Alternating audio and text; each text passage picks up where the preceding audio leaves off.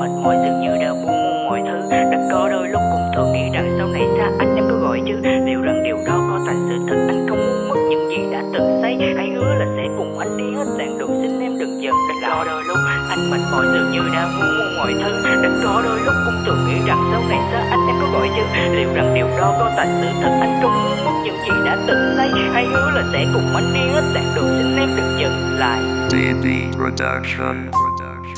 Có đôi lúc anh sợ nhiều thứ làm vướng chân trên con đường đi. Và có đôi lúc những gì anh mong liệu có giống anh đã thường nghĩ. Anh sợ đôi tay này không đủ sức để dắt em đi phần đường lại. Sợ rằng hạnh phúc nó chưa đủ nhiều khiến em sẽ thay đổi thương ai. Anh không mạnh mẽ như bao người khác nhưng có trái tim này chân thành. Một khi đã yêu thì yêu hết lòng để em rời xa thật không đành. Anh không dám hứa mình có phải là chỗ dựa cho em đáng phải tin cậy. Nhưng anh dám chắc rằng chỉ một điều là sẽ che chở em suốt cuộc đời. Nhưng mà em ơi cho anh xin lỗi em vì có đôi lúc không dối được bản thân không đủ can đảm đối diện với lý trí lúc nào cũng sợ nhiều thứ làm cản chân. Anh sợ đôi tay là ham quen thuộc rồi sẽ mất đi thật sự anh không nỡ giờ phải làm sao để cảm giác này biến mất? Dẫu biết tất cả chỉ là ở trong mơ. Anh chọn con đường để đi cùng em chỉ mong một điều vào sớm mai sẽ được bên em. Vun đắp hạnh phúc không để thứ gì làm chớm phai. Hy vọng những điều mà anh lo sợ sẽ không xảy ra như đã nghĩ. Hãy có đôi lúc anh mệt mỏi dường như đã muốn mua mọi thứ.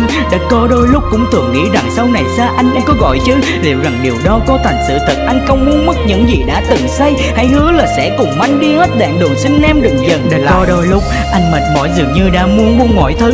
Đã có đôi lúc cũng thường nghĩ rằng sau này xa anh em có gọi chứ. Liệu rằng điều đó có thành sự thật anh không muốn mất những gì đã từng xây hãy hứa là sẽ cùng anh đi hết đoạn đường xin em đừng dần anh lại tự hứa với mình rằng là sẽ yêu em đến suốt đời. Nguyện sẽ bên cạnh sưởi ấm cho em mặc kệ trời chở gió buốt về. Đã có đôi lúc anh làm em buồn, khiến ta nhiều ngày không nhìn nhau. Em có biết không, cảm giác lúc đó như muốn cậu xé tim mình đâu anh sợ mất em, anh sợ mất em. Mất đi một tình yêu lâu dài, xin em đứng lại, đừng đi đâu hết. Anh sẽ buộc đắp nỗi đau này. Những gì mà anh đã từng gây ra, anh hứa sẽ không để lần nữa. Em không được buồn, em không được khóc. Hãy tin anh có biết chưa? Bắt đầu từ giây phút này đây, anh không suy nghĩ gì thêm nhiều. Điều quan trọng nhất cần làm bây giờ chỉ muốn nói hết cho em hiểu. Anh yêu em anh yêu em. Không có từ nào so sánh được. Em là niềm tin để anh có sức đi đến đoạn đường vùng xanh bước. Là thằng con cha anh nguyện bước chắc để che chở em khi gió lạnh. Là người đi đến với em suốt đời. Nếu lỡ vấp ngã sẽ có anh.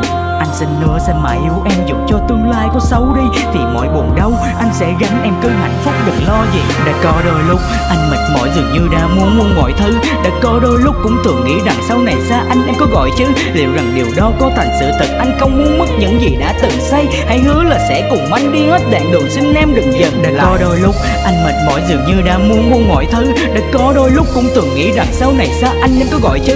Liệu rằng điều đó có thành sự thật anh không muốn mất những gì đã từng xây hãy hứa là sẽ cùng anh đi hết đoạn đường xin em đừng dần tại sao anh lại tưởng tượng như thế cũng vì lý do sợ mất em. Nó làm anh nhói bên trong ngực trái dẫn đến nhiều lần phải thức đêm. Suy nghĩ làm sao với bằng cách nào để em bên anh mãi cả đời? Xin em một lần đừng đi đứng lại hãy nghe anh hỏi và trả lời. Nếu như em là người yêu anh thì sẽ cùng anh vượt qua chứ. Mình tìm đi đến nơi nhiều hạnh phúc bổ lại đằng sau chuyện quá khứ. Đó chính là cách mà anh đã chọn để tô tình ta thêm nhiều màu. Giờ thì anh sẽ không nghĩ gì nữa chỉ biết là ta mới yêu nhau